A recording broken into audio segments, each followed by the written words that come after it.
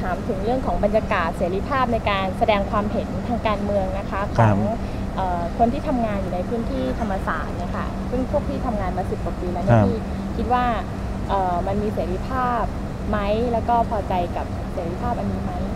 เพราะเสรีภาพในที่ทำงานดีมากครับก็อาจารย์ก็ท่านก็เป็นกันเองแล้วก็บางทีก็ท่านก็ ให้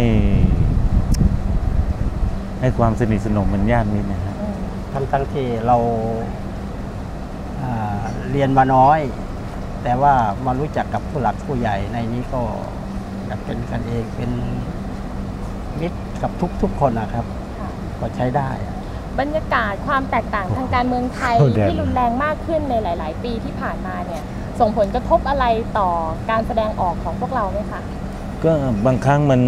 ก็ พูดไม่ได้ พูดไปก็จะเป็นภัยกับตัวเองอย่าง แสดงความคิดเห็นก็ยังไม่ได้อย่างมาตรามาตราหนึ่งเนี้ยที่รัฐบาลที่แล้วใช้เป็นเครื่องมือในการกำจัดศัตรูทางการเมืองนะฮะอืมนั่นแหละฮะซึ่งพี่บอกได้ไหมคะว่ามาตราที่พี่เห็นว่าเป็นปัญหาคือมาตราไหน แค่คิดยังไม่คิดไม่ได้เลย ยังยังไงเขากำจัดศัตรูทางการเมืองเขาบอกว่าไอ้นี่ไม่จงรักภักดีเราก็ตายแล้ว ไม่จงรักภักดีเขาใช้เป็นเครื่องมือในรัฐบาลที่แล้วเนี่ยใช้มาก แล้วคนติดคุกในมาตราเนี่ยเยอะฮะก็ยังไม่ทราบว่า จะแก้ไขได้ยังไงในเมื่อว่ามันมีพรรคการเมืองหนึ่งใช้ มาตรานี้มาเล่นงานคนและยังใช้มาตรานี้มาเป็นเครื่องมือปลุกม็อบปลุกปลุกระดมคนที่ไม่ได้อ่านในมาตรานี้เลยอืม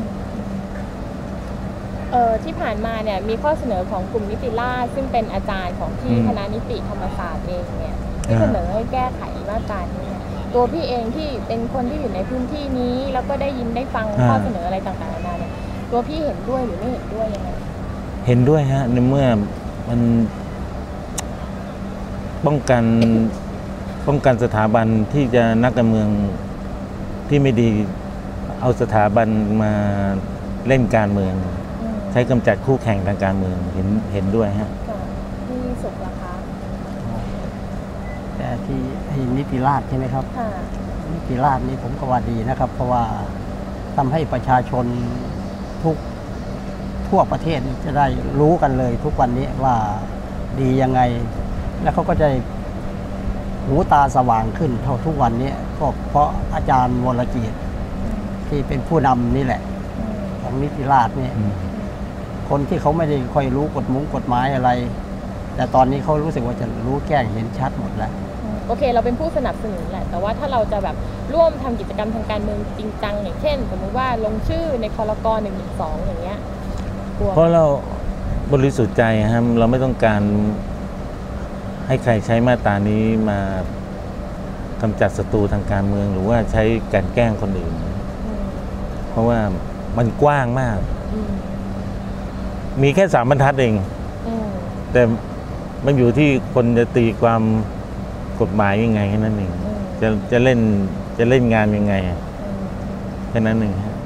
ถ้าอ่านดีๆมันไม่มีอะไรเลย แต่มันความหมายมันกว้าง ค่ะ ทีนี้คิดว่า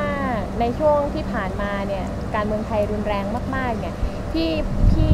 คิดว่าบทบาทของธรรมศาสตร์ที่ควรจะเป็นเนี่ยต่อสถานการณ์ความขัดแย้ง ความแตกต่างทางความคิดเนี่ยนะคะ ในฐานะที่เป็นคนที่อยู่ในธรรมศาสตร์มันยาวนานมากเลยเนี่ยแล้วก็เห็นบทบาทธรรมศาสตร์ในช่วงการเปลี่ยนผ่านในหลาย ๆ ครั้งเนี่ยช่วงนี้เนี่ยพี่คิดว่าธรรมศาสตร์เนี่ยควรจะทำหน้าที่ยังไงควรจะมีบทบาท ก็จัดสัมมนาแต่ละกลุ่มแล้วให้ความรู้อะตรงนี้ถูกต้อง ไม่ใช่แบบไปปิดกั้นอะไรอย่างเงี้ยคนทั่วไปจะได้รับข้อมูลที่ถูกต้องอะไรเงี้ยจากการสัมมนาจากการทุกกลุ่มมาสัมมนามาชี้แจง ไม่ใช่แบบปิดกั้นที่สุดอะค่ะเอ่อคิดว่าธรรมศาสตร์ควรจะมีบทบาทยังไงต่อสภาวะที่การเมืองไทยมันมีความแตกต่างทางความคิดมากมายอย่างเงี้ย ก็อยากจะให้มาช่วยกันนะครับ ทุกกลุ่มเลยครับออยากให้มานั่งคุยกันอืมเพราะว่ามันไม่งั้นก็อยู่อย่างเงี้ยอืมไม่มีใครยอมใครอะอืมแต่ว่าพี่เองเนี่ยเอาพูดง่ายๆว่าพี่สองคนเนี่ยเป็นผู้สนับสนุนครับเสื้อแดงแน่ๆแหละกลุ่มกลุ่มทางการเมืองกลุ่มหนึ่งครับเวลาคนที่มีความคิดเห็นที่แตกต่างมาพูดเนี่ย เราพร้อมจะฟังฟังฮะฟังพวกครับผมฟัง ยังอยู่ที่นี่ทุกกลุ่มทุกสีเขาก็มาก็ไม่มีปัญหาต้องดูแลเขาเราเองทำงานในระดับที่เรียกว่าระดับล่างลงมาเมื่อเทียบกับผู้บริหารเนี่ยนะคะ มีแรงกดดันหรือมีความรู้สึกอะไรบ้างไหมคะว่าเออเราอาจจะมีความเห็นทางการเมืองที่แตกต่างจากผู้บริหารในปัจจุบันนี้ ก็ส่วนมากไอการทำงานก็แยกแยกจากไอการขัดแย้งทางการเมืองนะฮะค่ะก็ไอความสัมพันธ์ในที่ทำงานมันก็แยก แยกกับความขัดแย้งทางการเมืองเลยก็เลยไม่ไม่ค่อยมีความกดดันอะไร อืมค่ะพี่สุกล่ะคะเหมือนกันครับ เหมือนกันครับ ไม่มีมาแบบมีปะทะไม่ไม่ฮะไม่มี เพราะว่าเขาก็ก็เหมือนเวลาเราไปเที่ยวในกลุ่ม กลุ่มเพื่อนแล้วก็เฮแบบเพื่อน อืมมาเที่ยวอยู่กลุ่มใครกลุ่มมันนะฮะ อืมแต่เวลาอยู่ทำที่ทำงานก็สัมพันธ์กันแบบ ในสถานที่ทำงานเป็นปกติ